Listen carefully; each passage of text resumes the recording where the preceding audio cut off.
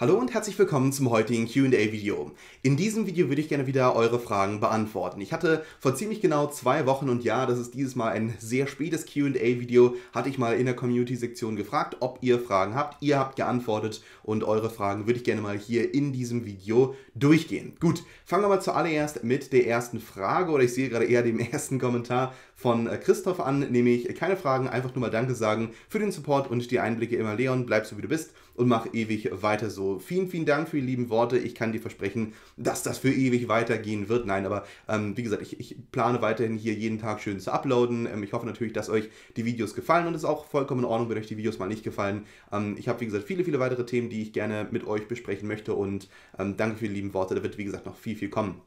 Dann die nächste Frage kommt von Petruschki, dass das Video nice wird, ist schon vorherzusehen. Ähm, hast du immer noch zwei Depots oder ist jetzt alles bei dir Comdirect? Ja, es ist um echt sein alles bei mir jetzt bei der Comdirect. Ich hatte einiges noch auf Trade Republic rumliegen. Warum genau habe ich mich dagegen entschieden? Ähm, ich denke, also mein Problem ist so ein bisschen, dass ich das sehr ungern dezentral habe. Das Schöne natürlich bei Trade Republic sind einfach die Gebühren, die praktisch nicht existent sind. Ähm, bloß ich hatte über Trade Republic relativ viel aktives Trading gemacht und davon möchte ich mich im Echtsein ein bisschen zurückziehen. Ähm, warum? weil ich einfach so wenig Zeit habe dafür. Ähm, sicherlich, wenn ich zum Beispiel vielleicht ein paar Geschäftsbereiche auslagern würde, dergleichen, könnte ich mich noch mehr aufs Trading fokussieren, aber ähm, das möchte ich gar nicht so sehr. Ich möchte nicht nonstop äh, irgendwelche Geschäftsreports und so weiter legen, lesen müssen. Ich möchte mich eher aufs passive Investieren fokussieren. Das heißt, wirkliche Unternehmenswerte, wo ich sage, okay, das Unternehmen, die werden auch, sag jetzt mal, noch in 10, 20, 30 Jahren relevant sein. Die haben zum Beispiel, gehören zu den Dividendenaristokraten oder ähm, sind halt einfach solche No-Brainer wie beispielsweise der MSCI World, wo ich dann immer schön jedes Jahr meine 7 oder 10 Prozent oder was auch immer bekomme. Also ich habe mich im Echtsein sehr von dem aktiven Trading zurückgezogen. Deswegen habe ich auch alles auf Comdirect rübergelegt. Ich habe sehr viel liquidiert in meinem Trade Republic Account und ähm, habe das, wie gesagt, alles rübergeschoben. Und ähm, genau, ich denke, das wird auch noch für einige Zeit so weitergehen. Vielleicht werde ich eines Tages mal wieder aktiv das Ganze machen, aber ist derzeit erstmal nicht geplant. Ähm, liegt nicht daran, dass ich jetzt irgendwie zu wenig Gewinn gemacht habe. Also ich habe definitiv mit meinem aktiven Trading-Portfolio, sage ich jetzt mal, mehr verdient als mit meinem passiven, sage ich jetzt mal. Aber ich habe dementsprechend auch viel, viel mehr Zeit reingesteckt und äh, ganz ehrlich, mein Unternehmen laufen gut und die Zeit, die ich ins Trading rein investiert habe, das hätte ein Vielfaches, sage ich jetzt mal, hätte ich mit meinem Unternehmen rausbekommen und vor allen Dingen habe ich da auch immer sehr viel, ich nenne es mal Opportunity Cost in der Zukunft. Das heißt, das, was ich jetzt tue, wird natürlich auch dann viel, viel, viel, viel mehr Geld in der Zukunft sein. Aber dementsprechend äh, ist es für mich einfach die sinnvollste Entscheidung, mich nur auf mein Unternehmen zu fokussieren und deswegen gehe ich jetzt halt sehr stark über zum passiven Investieren. Ähm, super Frage. Dann die nächste Frage kommt von hohe Dividenden für die Rente. Hallo Leon, super Videos, habe eine Frage zu den Low-Content-Büchern. Diese werden bei Amazon als Taschenbuch deklariert. Muss ich aus diesem Grund auch immer zwei Bücher an die Nationalbibliothek senden? Super Frage. Ähm, es gibt diesbezüglich schon eine Quelle online, die ähm, das sagt, was ich auch selbst bestätigen kann, nämlich dass die Nationalbibliothek diese Art von Büchern nicht haben möchte. Also es, dieses ganze Thema, ähm, das äh, schwirrt immer wieder rum und viele Leute werden sagen, aber du musst und andere Leute werden sagen, aber du musst nicht. Ähm, und das zumindest, was ich bei der Nationalbibliothek erfragen konnte, ist, dass diese No- bzw. Low-Content-Bücher nicht von Interesse sind. Bei einigen, also es gibt, gibt sowieso schon die Option, dass man in vielen Fällen einfach nur eine digitale ähm, Kopie dort einreicht, aber bei Low- bzw. No-Content-Büchern glaube ich und weiß ich, dass die eigentlich die nicht haben wollen. Am besten einfach nochmal bei den Nachfragen, die werden die höchstwahrscheinlich dieselbe Antwort geben. Ähm, genau, also das gilt übrigens auch für die Landesbibliotheken. Soweit ich das sehe, wollen die keine Notizbücher haben. Da, super Frage. Dann die nächste Frage kommt von Eduel, nämlich, ich hoffe, ich spreche das richtig aus. Zuallererst danke für deinen Content, der so viel Mehrwert bietet. Ich habe zu danken für Schauen. Ähm, mich würde mal interessieren, wie du es schaffst, all diese Einkommensströme zu managen, beziehungsweise einen Überblick über das Ganze zu behalten. Und Frage 2, wie sieht deine Reiseplanung aus? China als bevorzugtes Land. Ähm, super Fragen. Fangen wir an mit dem ersten Teil. Also ich muss ehrlich zugeben, dass der Überblick mir nicht sonderlich schwer fällt, weil sehr viele Einkommensströme recht passiv sind. Zum Beispiel, ähm, ich kann das Ganze immer, sagen wir mal zum Beispiel beim T-Shirt-Business, das sind in, insgesamt vielleicht 10, 12 Plattformen oder sowas, über die ich Einnahme ziele. Ähm, schlussendlich könnte man denken, mein Gott, das sind ja dann 12 unterschiedliche Plattformen, um die ich mich kümmern muss.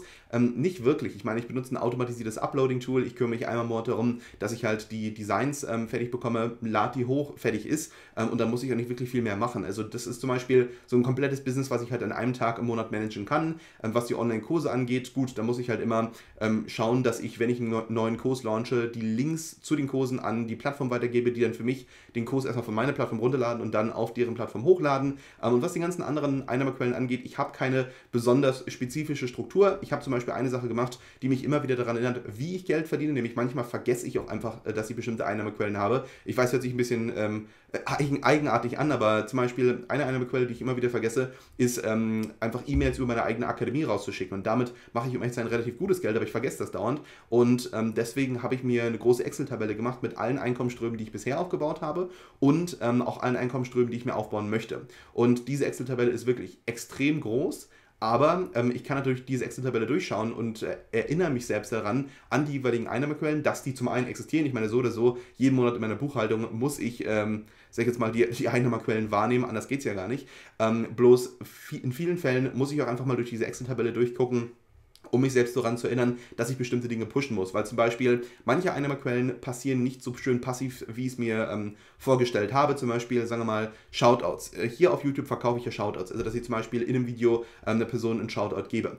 Ähm, Problem ist da nur das folgende, nämlich, ähm, dass weniger Leute tatsächlich darauf stoßen über den Kanal, als ich dachte. Ich muss dann also die Leute, die schon mal Kunden bei mir waren, immer wieder anschreiben und dementsprechend ist das sehr viel aktive Arbeit. Also, ich mache das Ganze über eine Excel-Tabelle, dass ich einfach alle Einnahmequellen da rein tue. Ich gucke die öfter mal durch, manchmal auch einfach was weiß ich, wann, wann auch immer ich Lust habe, schaue das einfach mal durch, äh, gucke, welche Dinge muss ich mal wieder pushen, ähm, nehme dann ein Ziel, wann ich das nächste zum Beispiel Buch umsetze, wann ich den nächsten E-Mail-Push mache oder was auch immer und ähm, so läuft das einfach. Es ist jetzt nicht irgendwie, dass ich jeden Tag eine spezielle Struktur habe. Das Einzige, was ich vielleicht tue, ist, ähm, ich versuche immer, das, was mir am meisten Geld zu machen, was mir am meisten Geld macht, auch am meisten zu machen. Zum Beispiel halt Online-Kurse. Das ist eigentlich immer so eine Konstante. Ich probiere jeden Tag Videos für Online-Kurse aufzunehmen ähm, und alles andere baue ich so irgendwie drumherum, sage ich jetzt mal. Und natürlich äh, muss ich mich auch selbst immer oft ein bisschen peitschen, weil nämlich die, die ähm, Coachings kommen immer rein. Das läuft zum Beispiel extrem passiv, also dass die Aufträge, sage ich jetzt mal, reinkommen. Da muss ich mich kaum um die Akquise kümmern ähm, und auch die Ghostwriting-Aufträge, die muss ich natürlich immer zu einem spezifischen Zeitpunkt abliefern. Ich habe das bei mir so organisiert, ich habe hier unten ein Whiteboard stehen und da drauf steht, ähm, welche Aufträge ich wann angenommen habe und dann gucke ich halt, okay, was muss mal wieder abgeliefert werden, was steht noch an und ähm, genau so organisiere ich dann diese aktiven Aufträge, sage ich jetzt mal. Ähm, dann die zweite Frage, wie sieht deine Reiseplanung aus? China als bevorzugtes Land. Ich muss ehrlich zugeben, dass ich derzeit mich ähm, um ein Visum nach China bemühe. Ich würde das sehr, sehr, sehr, sehr gerne tun. Ich hoffe sowieso die nächsten Jahre, wenn irgendwo diese ganze Situation jetzt endlich mal richtig vorbei ist, ähm, dass ich dann auch wirklich jedes Jahr da viele Monate verbringen kann. Ich mag das Land sehr gerne. Äh, viele von euch, wie gesagt, mögen mich dafür rügen, aber ich, meine, ich habe da lange gelebt. Das ist einfach ein Teil meines Lebens und ähm, ich möchte, wie gesagt, gerne zurück. Deswegen China absolut bevorzugtes Land. Wenn ich reinkomme, definitiv so viel Zeit wie möglich drüben verbringen. Ähm, aber sonst, ich meine, ich werde jetzt erstmal an die holländische Grenze fahren, weil dort meine Großmutter ähm, begraben liegt und ähm, die möchte ich einfach mal besuchen. Und ähm, dann werde ich wahrscheinlich mal über Holland, Frankreich, ein bisschen runter nach Spanien oder sowas äh, mal ein bisschen fahren. Also einfach mal diese ganzen Länder kennenlernen, weil ich muss zugeben, ich war noch nie in Holland. Ähm, ich war noch nie, also in, in Niederlande, ich, soweit ich weiß. Also ich bin ja immer so ein Theoretiker. Ich glaube, Holland ist ja nur ein Teil von Niederlanden, also dementsprechend Niederlande. Äh, dann würde ich gerne mal nach Belgien. Ich war nie in Belgien. Ich würde gerne mal nach Luxemburg. Ich war nie in Luxemburg. Ich würde gerne mal nach Frankreich. Ich war zwar schon in Frankreich, aber nur, äh, sag jetzt mal, als, als Transit, also nicht wirklich, dass ich da Zeit verbracht habe. Und ähm, auch ich war noch nie in Spanien. Also ich muss mal diese ganzen europäischen Länder bereisen, auch wenn ich offen und ehrlich zugeben muss, dass ich jetzt nicht so großes Interesse an den meisten europäischen Ländern habe. Mich interessieren vielleicht oben die Fjorde in äh, Norwegen, Schweden, sage ich jetzt mal, ähm, und vielleicht noch Italien, Griechenland. Ähm, Finde ich sehr interessant, aber weiß ich nicht. So die anderen Länder. Ich, vielleicht in, entwickelt sich die Faszination, indem ich dort mal sein werde. Aber um die Frage kurz zu beantworten, definitiv China bevorzugtes Land. Dann die nächste Frage kommt von SP, nämlich erstmal vielen Dank für den guten Content, den du immer lieferst, ähm, sowohl hier als auch in deinen Kursen. Vielen Dank, ich, also ich habe zu danken. Ähm, könntest du eventuell mal etwas zur Preisgestaltung von Online-Kursen erzählen? Aha, na klar. Ähm, insbesondere auf Udemy, also wie legst du die Preise für deine Kurse fest und wie häufig verkaufst du tatsächlich für den vollen Preis ohne Rabattaktionen seitens Udemy? Wäre super interessant. Klar, ähm, ich mache das immer so, dass ich meine Kurse zum absolut höchsten Preis anbiete, nämlich für 199,99. Warum tue ich das? Weil nämlich Udemy immer diese riesigen Discounts gibt und wenn dann zum Beispiel ein Kurs für 9,99 Euro angeboten wird, dann ist das, ähm, sag ich mal, 95% Discount, sieht also sehr attraktiv aus. Und ich habe in der letzten Zeit, oder nicht in der letzten Zeit, sondern ich habe früher viel mit den Preisen rumexperimentiert und habe dann zum Beispiel mal die Kurse nur 79,99 teuer gemacht oder nur mal 49,99 oder nochmal 129,99. Und da, wo ich immer am meisten Sales gesehen habe, war einfach beim höchsten Preis. Ähm, also deswegen bin ich halt dazu übergegangen, einfach immer den höchsten Preis zu wählen, egal was es für ein Kurs ist. Da ich sowieso nur noch riesige Masterclasses produziere, denke ich mal, ist auch der Preis zumindest theoretisch gerechtfertigt. Wie oft verkaufe ich tatsächlich den vollen, den, den Kurs zum vollen Preis? Also ich habe ein paar tausend Sales sicherlich pro Monat auf Udemy ähm, und vielleicht fünf, fünf Sales pro Monat zum vollen Preis. Also eigentlich verkaufe ich alles äh, zum, zum weit, weit günstigeren Preis und auch selten habe ich tatsächlich mal einen ähm, Kurs verkauft bei 199,99, sondern eher so 129 oder mal 149 oder sowas. Aber die 199 habe ich ganz selten mal. Also ich würde fast sagen, das ist we weniger, weniger als 10 Mal pro Jahr oder sowas. Und ich meine, ich generiere halt schon ordentlich Sales. Ähm, also so gut wie nie. Und komischerweise ist es aber auch so, wenn ich den Preis runtersetze, dass ich eigentlich nie einen Preis äh, oder einen Verkauf habe bei dann dem jeweiligen Preis. Zum Beispiel halt 99,99 oder sowas oder 79,99. Da gehen eigentlich normalerweise auch keine Sales rein. Also ich würde dir einfach empfehlen, also so hat es zumindest für mich gut funktioniert, den höchstmöglichen Preis zu nehmen. Ähm, genau. Und das hat bei mir, wie gesagt, einfach zu den meisten Sales geführt. Super Frage. Dann die nächste Frage kommt von niemand, nämlich ja, ähm, wie im oder ja, wie empfiehlst du neue Sprachen zu lernen, beziehungsweise was war deine Methode dafür? Hast du ähm, für Mandarin und so weiter Apps genutzt? Okay, super Frage. Ähm, das Interesse folge ich schon Monate. Angefangen mit Apps habe ich vor drei Tagen, aber es ist für mich schwierig anzufangen, weil ich einfach nicht weiß, niemand in meinem Umfeld spricht die Sprache Dänisch und wegen der kurzen Zeit, in der ich äh, angefangen habe, habe ich Angst, Geld auszugeben, bin 14. Wie hast du das alles geschafft? Viele Grüße und danke für die Videos. Also, wie gesagt, für die Leute, die es vielleicht nicht wissen, ich spreche fließend Mandarin, weil ich ja früher China in, äh, ich früher in China gelebt habe. Und ähm, ich muss ehrlich zugeben, dass ich kein großer Fan von den meisten Apps oder den meisten Lehrbüchern oder dergleichen bin, weil man einfach sehr viel schneller ähm, die Sprache lernt, wenn man in dem jeweiligen Land ist. Und zum Beispiel, viele von euch werden sicherlich sagen, naja, aber man kann ja zumindest mit Büchern ein bisschen lernen oder man kann, sag ich jetzt mal, schon mit Apps ein bisschen was hinzulernen. Und ähm, ich muss einfach wirklich davon abraten, einfach nur aus vollem Grund, nämlich wir hatten in China für drei Monate Mandarin gelernt und es kam eine Klasse zu uns aus den Vereinigten Staaten und die hatten für 14 Jahre lang Mandarin und wir waren nach drei Monaten denen um einiges überlegen. Und wo ich immer denke, okay, du kannst halt 14 Jahre dich hinsetzen und die hatten wirklich wiederkehrend, jede Woche, es war so eine, äh, das war von Grundschule bis, bis äh, Oberschule bis äh, fast oder Studium oder was auch immer und die hatten für 14 Jahre das gelernt oder du setzt dich einfach drei Monate in dem Land hin und lernst das aber richtig volle Kanne hardcore.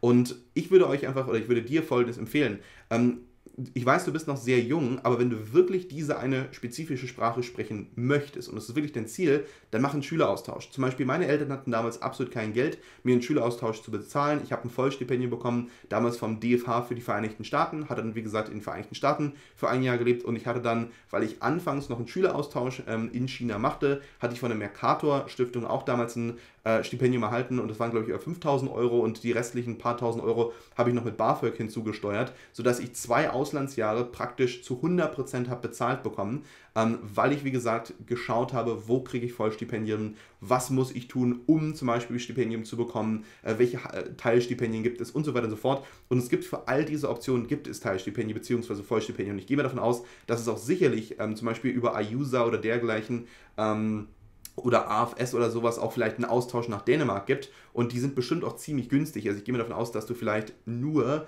5.000 bis 6.000 Euro dafür zahlen musst für ein Jahr. Ähm, und wenn du schon voll, äh, ein Teilstipendium bekommst, kann es gut sein, dass du 3.000, 4.000 Euro davon als Teilstipendium bekommst und dann zahlst du vielleicht nur noch 1.000, 2.000 Euro. Und wenn du dich vielleicht mal für ein paar Monate hinsetzt oder ein paar Monate Zeitung austrägst, dann hast du das Geld zusammen und kannst dir halt ein komplettes Jahr dort drüben leisten. Und ich kann dir einfach nur sagen, ein Schüleraustausch ist eine der besten Sachen, die du machen kannst in deinem Leben, einfach nur aus vollem Grund. Du wächst innerlich extrem, auch wenn du zum Beispiel, ich meine, mein, meine Auslandsjahre in den USA, damals war ich noch echt pubertär und das, das hat mir viel Unsinn aus meinem Kopf genommen dieses Jahr. Ähm, und ähm, ich kann nur sagen, dass es dich sehr wachsen lässt, dass es dir eine neue Perspektive gibt. Du lernst einfach mal dein, dein Land, dein, dein Zuhause von einer komplett anderen Perspektive kennen ähm, und lernst es auch vielleicht sehr objektiv einzuschätzen und merkst vielleicht auch, wo sind Dinge besser auf der Welt oder was möchtest du wirklich mit deinem Leben anfangen. Deswegen, ich würde dir einfach empfehlen, du bist noch so jung, mach auf jeden Fall einen Schüleraustausch, lern die Sprache dort Ähm, wenn du jetzt tatsächlich lernen möchtest, dann würde ich dir vielleicht folgendes empfehlen: Such dir einfach einen richtig guten YouTube-Kanal. Dafür brauchst du nicht unbedingt jetzt irgendwelche tollen äh, oder teuren Apps oder Rosetta Stone oder was auch immer.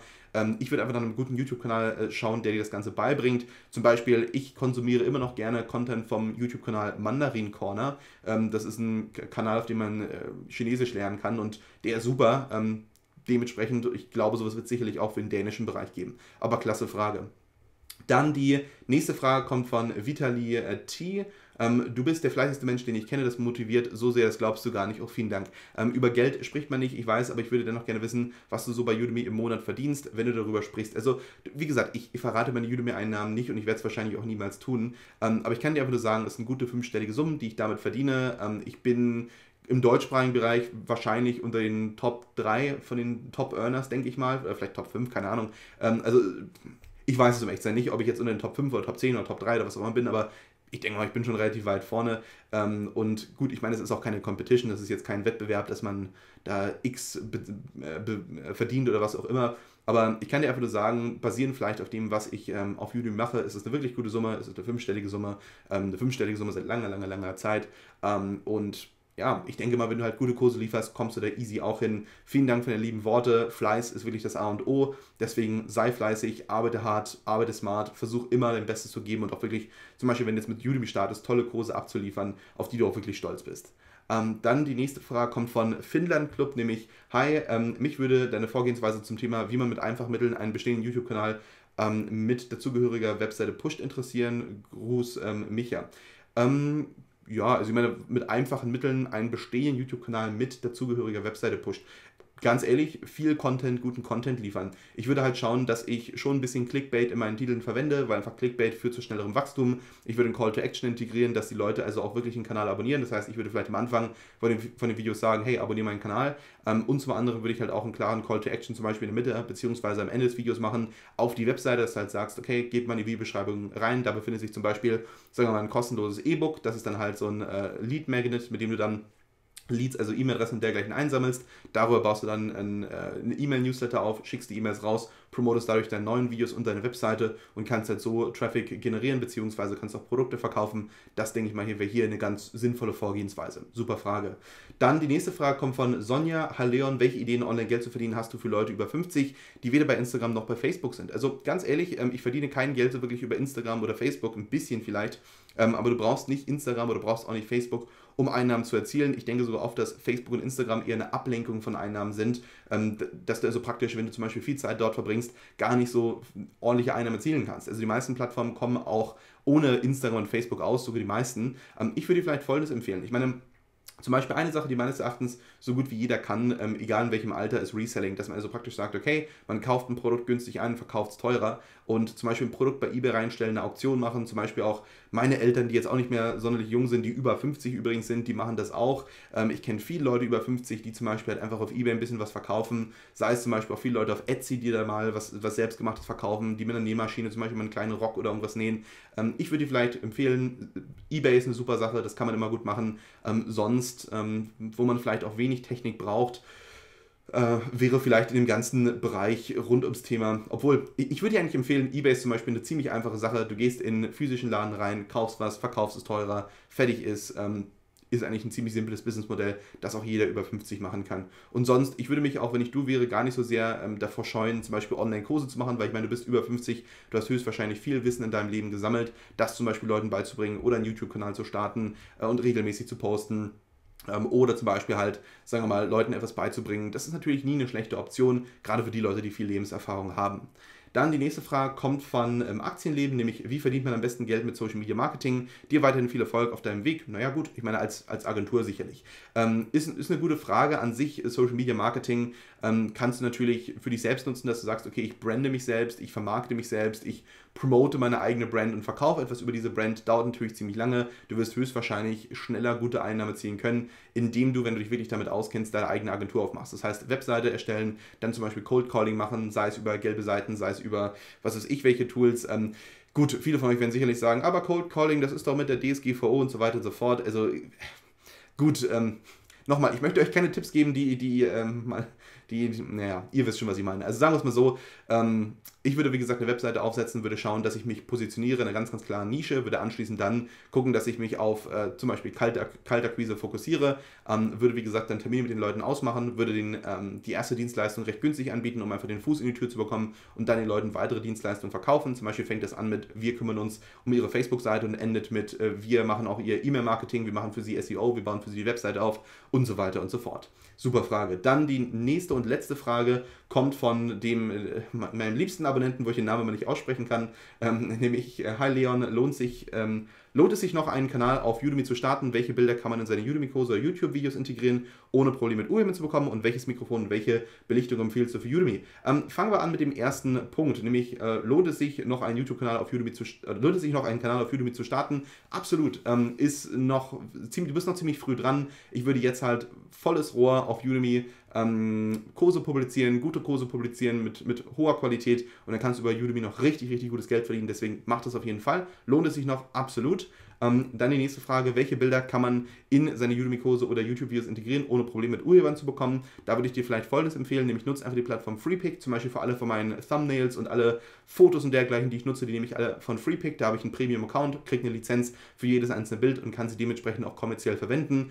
Das würde ich dir sehr empfehlen. Ähm, und dann, welches Mikrofon und welche Belichtung empfehlst du für Udemy? Also zum Beispiel beim Mikrofon habe ich ein Blue Yeti USB-Mikrofon. Ähm, diese Blue Yeti äh, USB-Mikrofone sind eigentlich ziemlich gut und sonst einfach drei Softboxen, die habe ich bei mir auch rumstehen. Dann nimm einfach die, die Bestseller von Amazon und die werden schon, denke ich mal, ganz gut sein. Und jetzt habe ich endlich mal den echten Namen herausgefunden, nämlich Philipp, du heißt gar nicht. Nein, du weißt schon. Ähm, gut, dass ich jetzt deinen echten Namen kenne. Nein, Cool, ähm, gute Fragen. Ähm, ich freue mich sehr, dass ihr, wie gesagt, so viel fragt. Falls ihr weitere Fragen habt, dann schreibt es gerne in die Kommentarsektion rein. Ich werde mein Bestes geben, euch noch zu antworten. Das war es dann aber heute hier für dieses Video. Ich danke euch und ich hoffe, dass wir uns bald in einem meiner anderen Videos wiedersehen können.